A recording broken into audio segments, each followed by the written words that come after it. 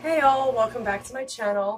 I hope you're staying sane in this weird thing going on right now with coronavirus. I did want to make um, a video based on this hoarding shit needs to stop. You have people like me on disability, people that are on, you know, other assistance in government programs, or, you know, right now some, a lot of people are out of a job. But then you have some people buying everything in the store. So by the time we actually get paid in money, there'll be nothing left in the stores. So it's getting ridiculous that you do not need, and I swear you do not need a hundred rolls of toilet paper. You won't even go through that in the last next six months, even if you had six people in your house. Like that's a bit much. And I think people are just very selfish. And we need to come together and think about everyone else everybody needs stuff. It's not just you. It's not just, you know, your family.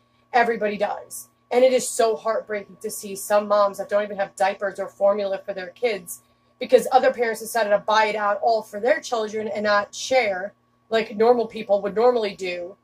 You know, like we do on a daily basis. We only take what we need. Take what you need. Now, if everybody took what they need, things would be fine.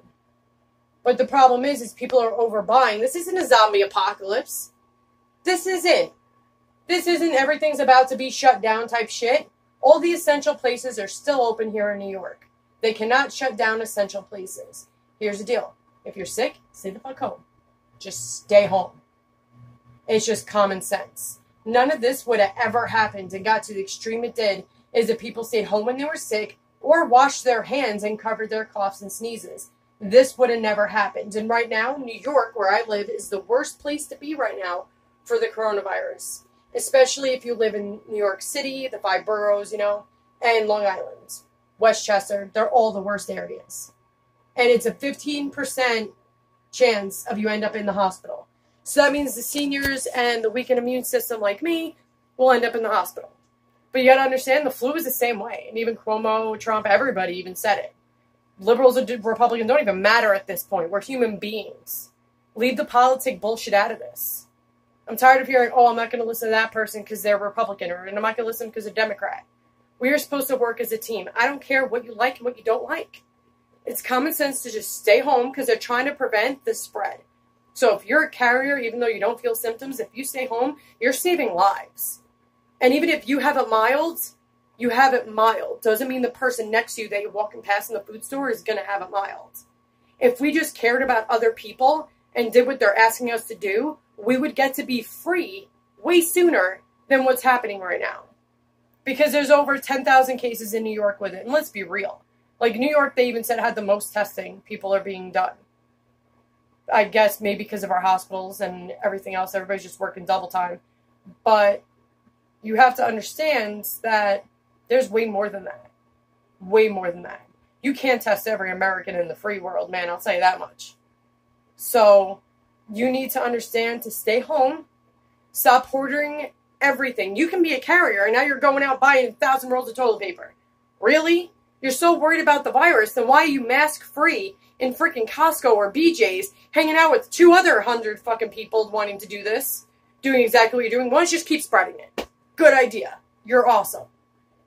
That's the purpose, is to stay home and not do what you're doing. Like, really, you're hoarding stuff, but if you're so worried about the virus, why are you risking yourself with a hundred other people going crazy over toilet paper in a store? You do realize you're now spreading it. That what you're doing actually defeats the purpose of us trying to have, you know, quarantine for everybody and keeping distance. Bet anything you did not do six feet of distance of anything.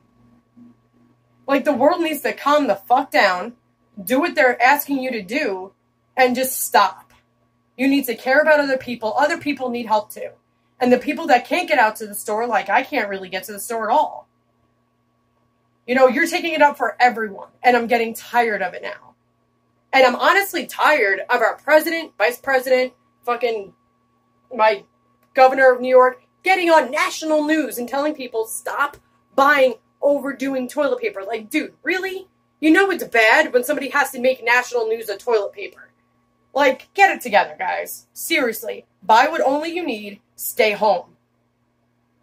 That's what you should be doing. Because if you actually were worried about the virus as you're panicking all over freaking the world, then why the hell are you out hanging out with a hundred other people mask free, glove free, no hygiene whatsoever going on protecting yourself for freaking toilet paper? This is why they're trying to stop people. That's why they're shutting more stores down because people like you are going crazy over toilet paper. Not the virus. No, you're not worried about the virus. You don't care if you spread it to a person. You don't care whatever's happening. You're just going crazy. It needs to stop. Please care about your neighbor, down the street neighbor, whether it's freaking somebody in a, like a mile away from you. It doesn't matter. Buy what you need.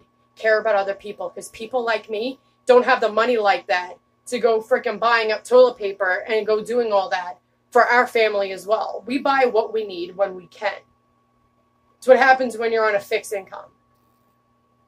Like, I'm really getting tired of the way people are acting. We're supposed to work as a community, as a team, and people are in it for themselves and selfish, and that's bothering the hell out of me. And I'm sure it's bothering the hell out of a lot of other people too. I'm on disability. I get paid the third of every month. And most of my money has to go to my rent.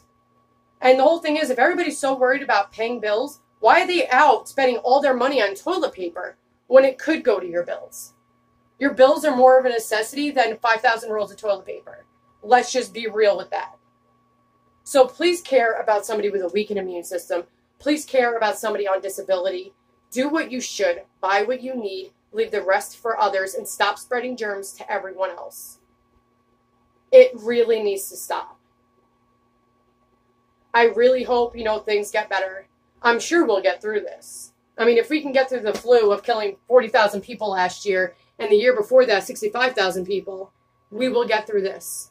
It's the worst time of year because it's winter and everybody's inside, which is why germs spread so much.